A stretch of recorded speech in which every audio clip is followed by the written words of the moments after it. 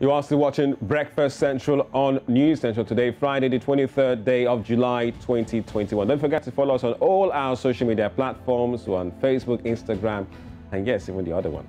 Right, let's go straight to, more stories right here. Now, figuring out uh, how to make a comic book uh, for the first time can be quite uh, intimidating task, especially for those who don't think of themselves as visual artists. Now, most people know about comic books, uh, but uh, almost uh, no one knows how they are made, and some old-fashioned folks uh, have not yet realized that comic books are an art form in uh, their own right. Now, and that writing them involves a specific set of skills and processes that differ from novels and uh, screenplays. Now, my guest today uh, is uh, Lady Anastasia Bolu. She is a cre the creative director and author at AB Comic Books, a silent digital comic book store, and telling stories about the African culture and uplifting the African woman. Well, welcome to Breakfast Central, Anastasia. Thank you very much. Good morning. Good morning. Uh, comic book writing. Uh, tell us the journey and how did it really start for you? Okay, so for me, I've always been a storyteller ever since I was a kid. So basically, this year I decided to do something about it. So I um, self-published my first comic in January of this year, and I got amazing feedback. So that basically encouraged me to publish, self-publish my second comic. What was the name of the first comic? The first one is called Psychedelic Affair. Okay. And the second one is Stacy Black, Once Upon a Time in Monaco.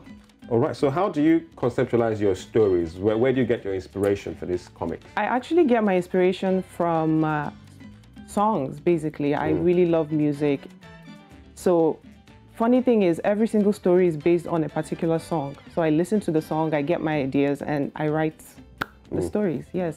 Right, and you started this uh, quite young. Uh, so, what would you say are the major challenges and hurdles? Uh, did you have to go to some form of, you know, educational, formal training that really makes you a professional at this to really hone your craft? I actually didn't have any training. Wow. Like I said, I've always been a storyteller. I just decided to do, like, put something out there this year.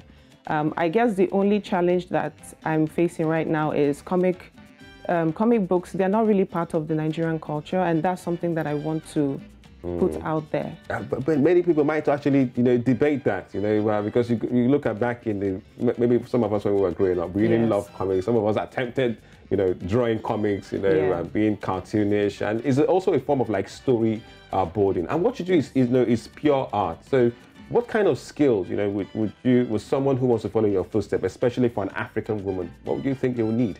I think basically a creative mind. Once you have a creative mind, everything is possible. That's what I will say. Mm. Yes. And obviously, apart from that, the technical skill of actually drawing the comics. yes. Uh, and uh, there's always this uh, question about, you know, we don't have talent or I'm not as gifted as Anastasia. You know, uh, there's always that barrier to, to navigate. How does someone, you know, go through that kind of hurdle?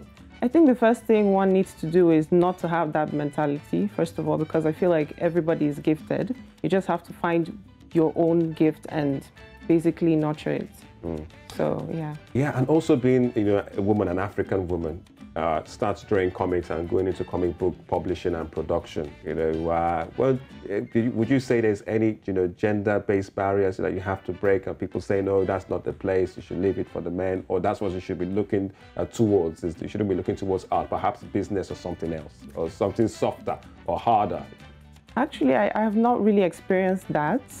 Um, fortunately for mm. me, um, I, I mean, I, I can't I can't speak on that because I haven't experienced yeah. that. Well, how's the reception been since you uh, launched your first and second uh, comic? Uh, it's been really, really positive. People really like the stories. I um, I have some reviews on my website already. Okay.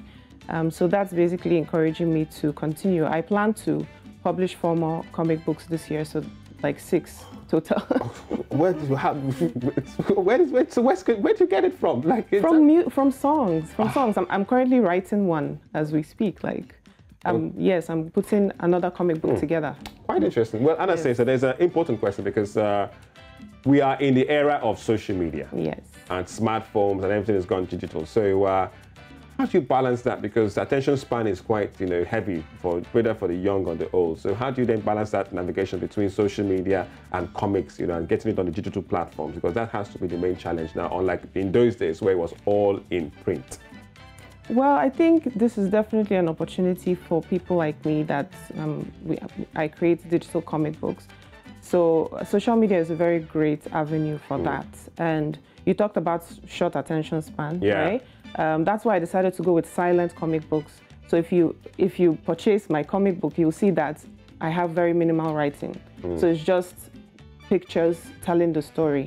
Okay, so yes. it's a silent comic book. That's actually a genre in itself, yes. subgenre within the comic book. Yes. Wow. Yes. So what defines it? Uh, you don't write many texts in yes. your. Yes. So you don't you don't have people having conversations, mm. but you see them. You see them doing things. So you can tell the story from there. Sometimes you can even interpret it in your own way. So that's mm. that's what art is about. All right. So so uh, when you talk about comic books, a lot of us, especially for you know boys, you think about Superman, you know Batman, X Men, you know, uh, and there are different types of comic genres, just like yes. action and horror. So what would you say is your favorite?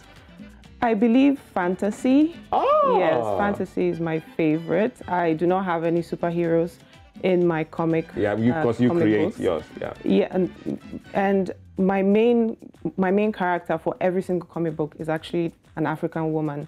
So maybe that's my own superhero in okay, a way. So why the African woman? I, because I feel like African women need to be more empowered. Um, I want to tell stories about African women. African women are very complex. They are beautiful. They are talented. Um, they are sensual. They're intelligent. So I just want to project that into like the society.